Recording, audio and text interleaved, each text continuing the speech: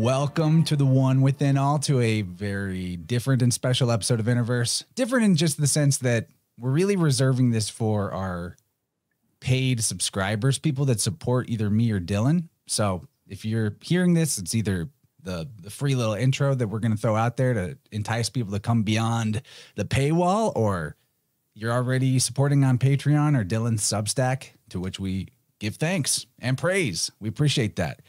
With the work we're going to be discussing, Dylan's brand new book, The Real Universal Empire, getting into the details and the deep research that this book contains. It's not something that should just be given out to, you know, cast pearls before swine. No offense, barnacles that, you know, chug along for free attached to the hulls of our respective ships. We, we appreciate that you like our content too, but there's a thing about reciprocity in this particular work. Uh, Dylan was quite adamant he wants to Make sure it's just for supporters, for the serious researchers. And I get that. I get that. And I'm I'm excited to do something like this myself. So we're talking about his brand new book, The Real Universal Empire. I read all of it. It's excellent. I think it might be the best book that he's written so far. It also stands alone. So if you haven't caught up on the Spirit Whirled books, but you're curious about making sense of the farrago of history and myth, this book is really going to put your perspective in order by eliminating a bunch of nonsense and just bringing common sense to the equation of where did this universal empire system of priestcraft system of society really originate? What are the oldest origins of written language and letters?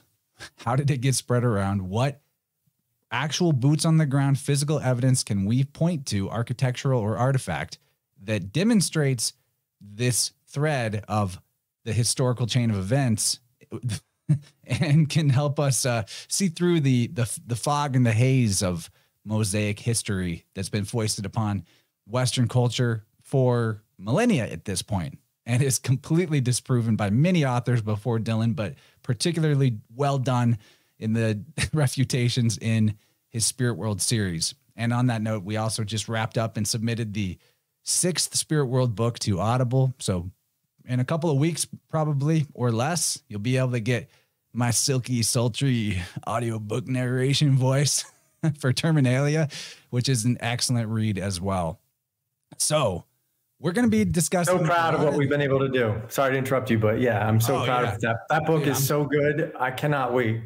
Man, I don't even have notes in front of me. You hear this? I'm I'm reading is it's as if I'm reading an introduction. That's how stoked I am about this content. I'm feeling, you know, the the the wine of poetry coursing through my veins or or whatever. so we're going to be going through what I felt like were great points uh, to to talk about from the book, having just recently read it. We got a ni- nice outline. We're well prepared. We're handsome. This is going to be fun. So, Dylan, yeah, welcome. looking sharp. welcome, man, and thanks for being here as usual. Really excited that we're doing this in a a more prepared way the, the, information, the gravy is just golden and piping hot. Well, thanks for having me. And um, just to reiterate, you know, thank you to all of you out there who are going to see this. That means you support us through my uh, platform on Substack and Chance's platform on um, Patreon and also possibly Substack. And uh, you know, you your contributions are what help facilitate this work. So as much as we're proud of ourselves, uh, you can be proud of us too because we're able to do that through your contributions. And uh, we very much appreciate that. And basically the reason this is more for um, private is we want to just start catering to those who actually support us right? Not uh, all inclusive stuff.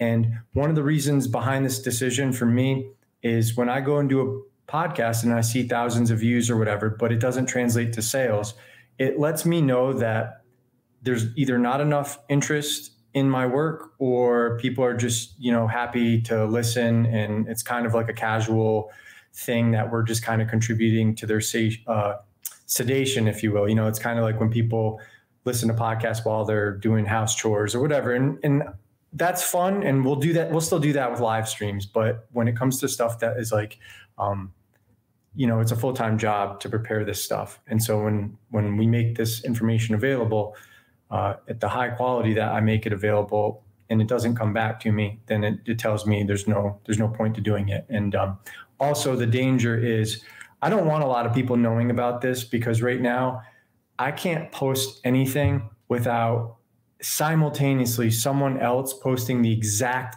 opposite and contrary viewpoint. And it's very um, unprofessional the way they do it. But because these people have big platforms, that's what's going to win right now. So I don't want to make all this avail- information available to see it then get uh, perverted and degenerated by these internet people who just need something to talk about so they can get views and whatever else and sell you their, you know, their uh, what their Patriot supplies and all that shit. That's a real thing. You, you, when you're in the podcast world, you you start to see it that the parallel looks like parallel thinking, but it's more like I don't know, mining the parallel inversion. yeah.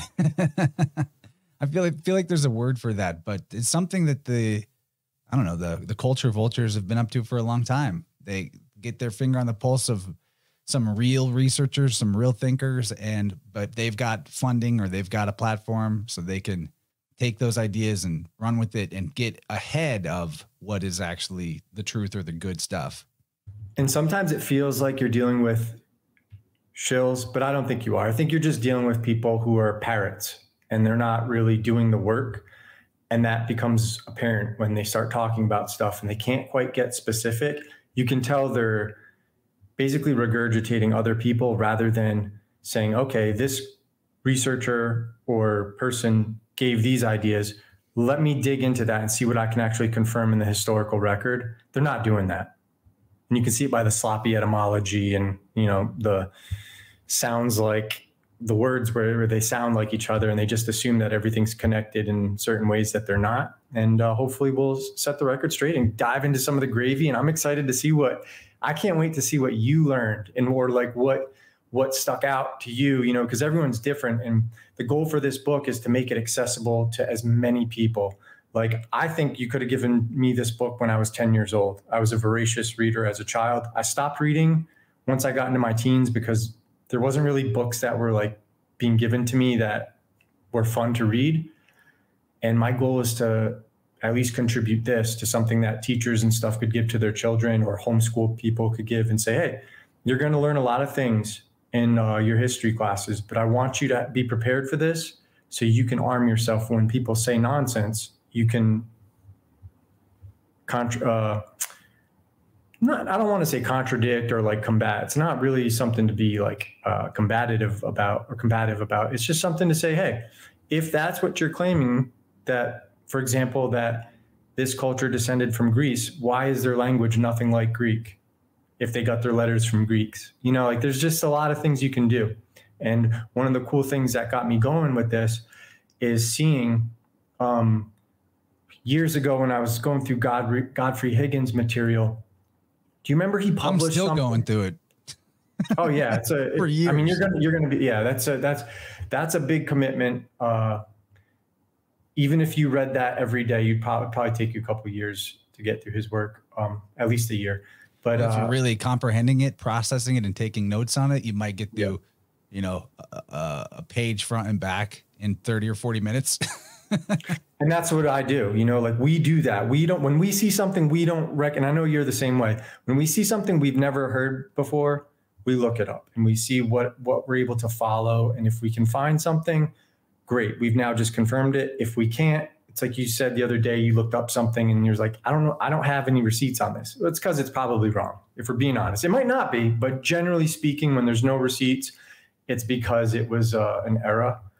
Um, but he he posted one thing, something. One, one, thing I learned from your book today that I looked up, a word that I didn't know, is a, th- a thassilocracy or a thassilocrat. Yeah, yeah, Lords of the Sea. Right, exactly. That's a, an empire that or a nation who makes its way on the seas, a, a sea-bound Im- empire.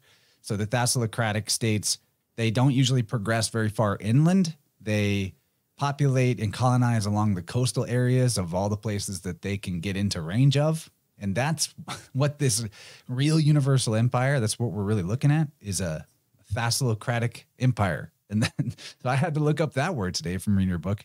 Uh, and also for people that really want to get their teeth into stuff and or wrap their arms around stuff, what we were just mentioning is worth it to think about. And you never know. You might just consider yourself a someone who's curious and wants to know stuff. Or, or but you you may someday realize that you have all this knowledge in your head, but you don't have the link the linkages to access it unless just sort of the right conversation comes up and it pops into your mind and you're like, oh yeah, I did know that.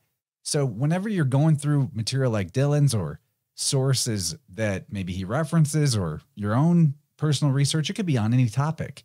If you get into the habit of having a physical notebook or uh, a notepad open on your laptop, and whenever you learn something that you think is pertinent, to start just transcribing that down, uh, a quick note with the page number attached to it.